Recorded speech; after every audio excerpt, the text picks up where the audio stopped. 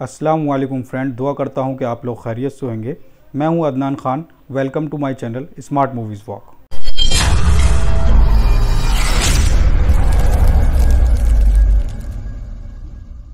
आज का टॉपिक हमारे चैनल के कंटेंट से थोड़ा हटकर है, लेकिन बहुत ही ज़्यादा अहम और इंपॉर्टेंट है।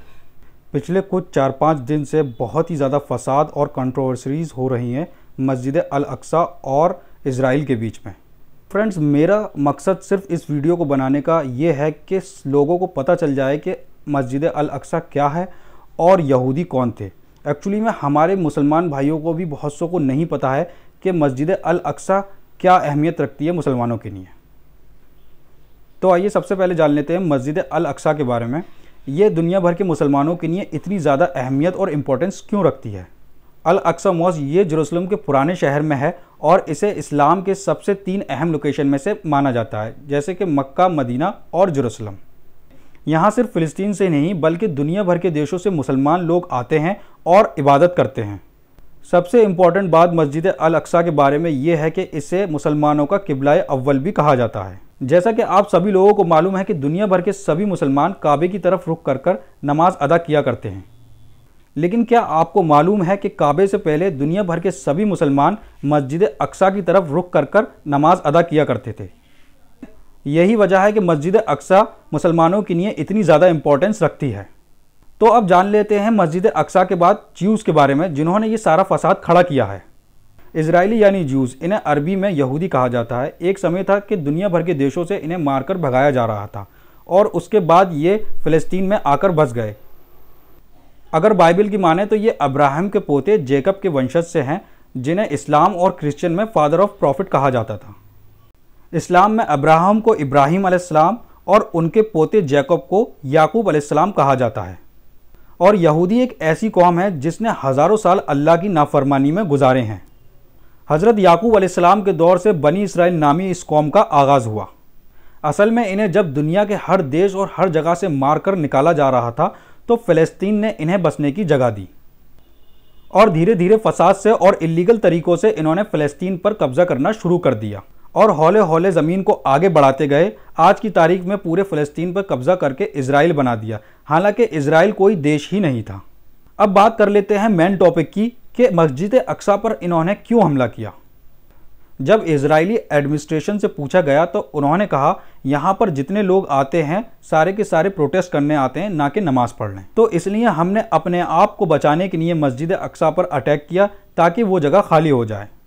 असल में देखा जाए तो सबको पता था कि वहाँ पर बंदूकें किसके हाथ में थी और नमाज़ कौन पढ़ रहा था। ऐसा नहीं है कि सडनली स्टार्ट हो गया हो, ये अक्सर अपनी फोर्सेस को मस्जिद अक्सा पर भेजते रहते हैं और फसाद करते रहते हैं। जरूसलम में काफ़ी ज़्यादा बड़े बड़े एरिया थे, जिसमें पहले मुसलमानों का होल्ड था। लेकिन हौले हौले इलीगल तरीके और इलीगल स्टेटमेंट के ज़रिए सारे मुसलमानों को वहाँ से निकाल दिया गया। ऐसी ही एक जगह है, जिसका नाम है शेख जर्रा। ये इन दिनों काफ़ी ज़्यादा चर्चा और ट्रेंडिंग में है। तो आइए जानते हैं शेख जर्रा और मस्जिद अक्सा के अटैक से क्या ताल्लुक है। पहला क्लैश हुआ मस्जिद अक्सा और इसराइली फोर्स के बीच। दूसरा क्लैश हुआ शेख जर्रा और इजरायली फोर्स के बीच, जो कि जेरूसलम ओल्ड सिटी से दो किलोमीटर के फासले पर है, जो कि पहले टोटली मुस्लिम डोमिनेंट एरिया था, लेकिन इलीगल सेटलमेंट के तरीके से वहाँ पर इसराइलियों को बसा दिया गया। अब शेख जर्रा में सिर्फ़ चार मुस्लिम फैमिलीज़ के घर हैं और उनको भी वो वहाँ से भगाना चाहते हैं। इसी साल इसराइली कोर्ट ने एक जजमेंट पास किया शेख जर्रा की मुस्लिम फैमिलीज़ के अगेंस्ट में। इस जजमेंट को लेकर वहाँ पर बहुत सारा बवाल हुआ, क्योंकि वो उन चार मुस्लिम फैमिलीज़ को इलीगल तरीके से वहाँ से निकालना चाहते थे। इस चीज़ पर जब मुस्लिम्स लोगों की तरफ़ से हंगामा हुआ तो इस डिसीज़न को 10 मई तक डिले कर दिया गया। और अब वहाँ पर कुछ ज़्यादा ही हंगामा शुरू हो गया, उन चार मुस्लिम फैमिलीज़ को ज़बरदस्ती वहाँ से निकाला जा रहा था।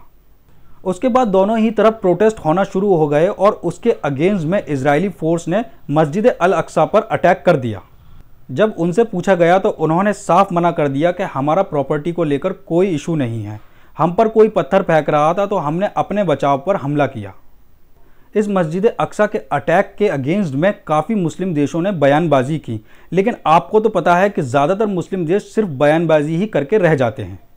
लेकिन टर्की के प्रेसिडेंट तैयब इर्दगान ने क्लियरली कहा कि हम स्ट्रांगली कंडेम करते हैं इसराइल के इस तरह के अटैक से। क्योंकि ये हमारे किबलाए अव्वल पर अटैक है और हर रमज़ान को इसराइली फ़ोर्स इस तरह के हरकतें करती रहती है। और हम फ़लस्तीन में अपने भाइयों और बहनों को हर सरकमस्टेंस में साथ देते रहेंगे। और उसके बाद तैयब इर्दगान ने यह भी कहा कि यही टाइम है जब सारी मुस्लिम्स कंट्रीज़ को एक हो जाना चाहिए और यूनाइट हो जाना चाहिए। तो ये था सारा मसला बिटवीन मस्जिद अल अक्सा और इसराइली फोर्स के बीच में। अगर आपको मेरी इन्फॉर्मेशन ज़रा भी पसंद आई तो कमेंट सेक्शन में नीचे लिखकर ज़रूर बताएँ। मैं हूँ अदनान खान, आप देख रहे थे स्मार्ट मूवीज़ वॉक चैनल मिलते हैं नेक्स्ट वीडियो में, तब तक के लिए कीप वॉचिंग